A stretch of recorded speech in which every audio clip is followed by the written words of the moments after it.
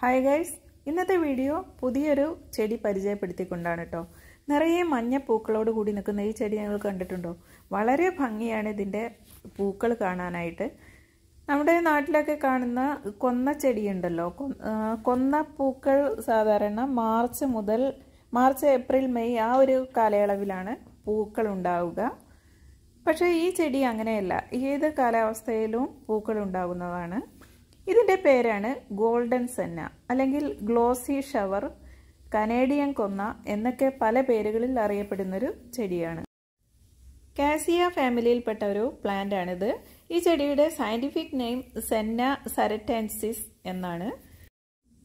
കാസിയ ഫാമിലിയിൽപ്പെട്ട ഒത്തിരി വെറൈറ്റി ചെടികളുണ്ട് കേട്ടോ ഇത് യെല്ലോ കളറാണെങ്കിൽ ഇതുപോലെ തന്നെ നിറയെ നല്ല ഭംഗിയുള്ള പൂക്കളോട് കൂടിയിട്ടുള്ള വൈറ്റ് പിങ്ക് കളറുള്ള ചെടികൾ പൂക്കളോട് കൂടിയിട്ടുള്ള ചെടികളും കാണുന്നുണ്ട്. ഏത് കാലാവസ്ഥയിലും പൂക്കൾ ഉണ്ടാകും എന്നതാണ് ഈ ചെടിയുടെ ഒരു പ്രത്യേകത. എങ്കിലും ഒക്ടോബർ മുതലാണ് ഏറ്റവും നന്നായിട്ടത് പൂക്കൾ ഇതുപോലെ നിറഞ്ഞ പൂക്കൾ ഉണ്ടായിട്ട് കാണുന്നത്. ഈ ചെടിയുടെ ഉണങ്ങിയ വിത്തുകൾ കളക്ട് ചെയ്തെടുത്തിട്ട് ഒരു ദിവസം വെള്ളത്തിലിട്ട് വെക്കുകയും പിറ്റേന്ന് അത് മണ്ണിൽ നട്ടു കൊടുക്കുകയും ചെയ്യുക. അങ്ങനെയാകുമ്പോൾ കുറച്ച് ദിവസങ്ങൾ കൊണ്ട് തന്നെ തൈകൾ മുളച്ചു വരികയും നമുക്ക് ഒത്തിരി ചെടികൾ കിട്ടുകയും ചെയ്യും.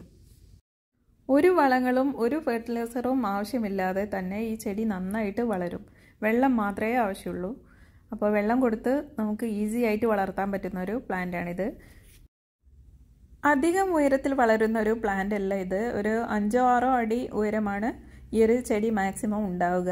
എങ്കിൽ കൂടി നല്ല നമുക്ക് ആവശ്യമുള്ള വലിപ്പത്തിൽ ട്രിം ചെയ്ത് കൊടുക്കുകയാണെങ്കിൽ അതേ ഉയരത്തിൽ തന്നെ ഈ ചെടി വരി വളർന്നു വരികയും ഇതുപോലെ അടുത്തടുത്ത് ഒത്തിരി പ്ലാന്റുകൾ വെക്കുകയാണെങ്കിൽ ഒരു മതിൽ പോലെ തന്നെ നിന്ന് നിറയെ പൂക്കൾ ഉണ്ടാകുന്നത് കാണാൻ വളരെ ഭംഗി തന്നെയാണ്.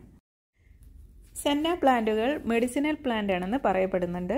ഇതിന്റെ ലീഫും അതുപോലെ തന്നെ വിത്തുകളും ഒക്കെ പലതരം രോഗങ്ങൾക്കായിട്ടും ഉപയോഗപ്പെടുത്താറുണ്ടെന്ന് കേട്ടിട്ടുണ്ട്. തീർച്ചയായിട്ടും നമ്മുടെ ഗാർഡനിൽ ഉണ്ടായിരിക്കേണ്ട ഒരു ചെടി തന്നെയാണിത്. അത്രയും ഭംഗിയാണ് ഇതിന്റെ പൂക്കൾ കാണാനായിട്ട്.